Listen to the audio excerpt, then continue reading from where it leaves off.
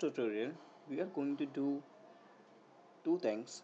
One is setting up a default page in IIS and setting up handlers. One thing is about IIS that's configure the default document. For this we will go back to the IIS server. We expand default website Bugzilla you will see something called default document. Double click that.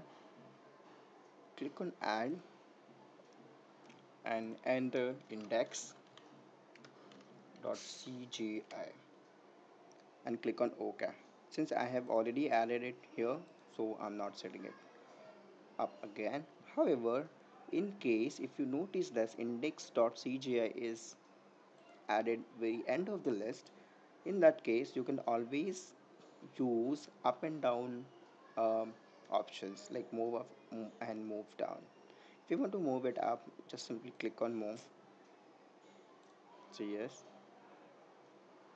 And if you want to move down click on down. So in this case our index.cgi is existing the very top place which is okay. If it is not you should always click on if, if you assume say index is here index.cgi you can always click on move up and move down so in this case if it is there already on the top so we are not changing it. The next step would be adding a handler mapping.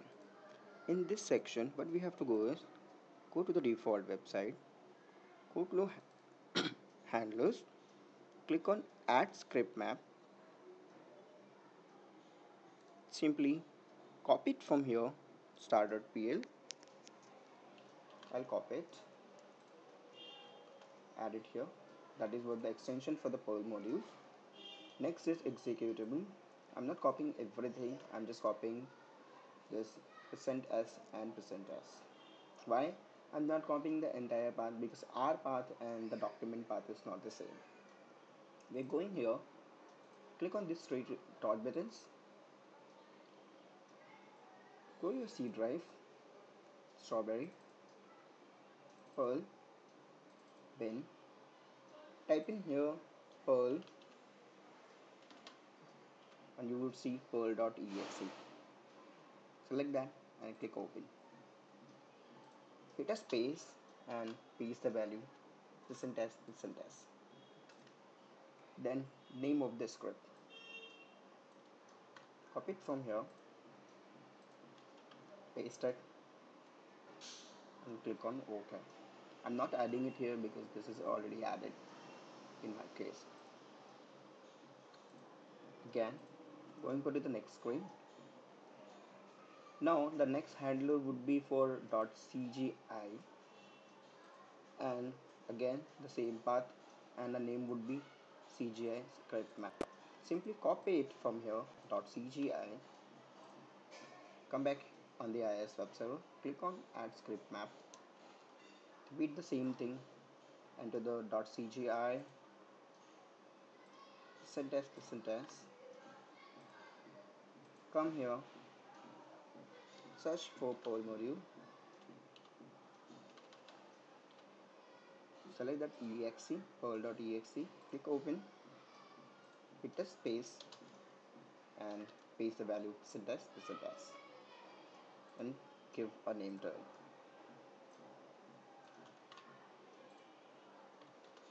And click on ok again in my case it is already added. I'm not adding it again. Next option for our default website. Next would be for setting up the similar thing for Bugzilla application. Copy .cgi star.cgi go back to your IIS server click on your Bugzilla application under default website. Click on handler mappings. Click on add script map again.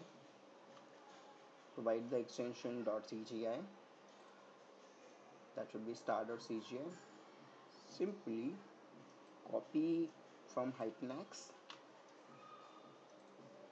click on three dot buttons.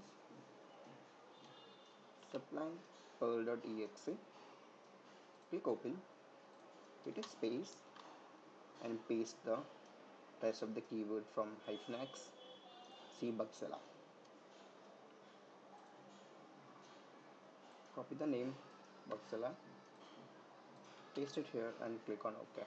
In this screen again this is added by me already so I'm not adding, I'm not editing it again. The next step is go to CMD run it as administrator.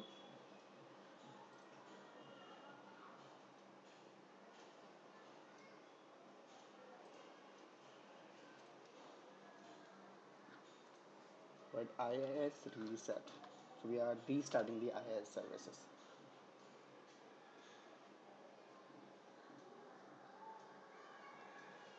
So our IIS is restarted.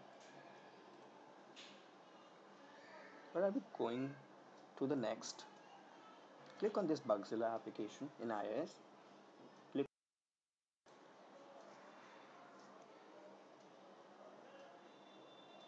Or if you uh, have a browser Chrome or any other browser simply go there. Type http colon slash slash localhost slash bugzilla. And hit enter. Let's login click on login. This is test at the gmail.com this is the administrator id which we created while setting up bugzilla. Now the password that was given here.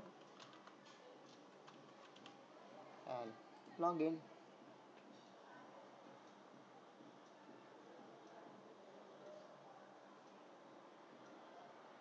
that's done so bugzilla is completed all installation done. Since we have not configured everything in the application the dashboard is like welcome and this is the message.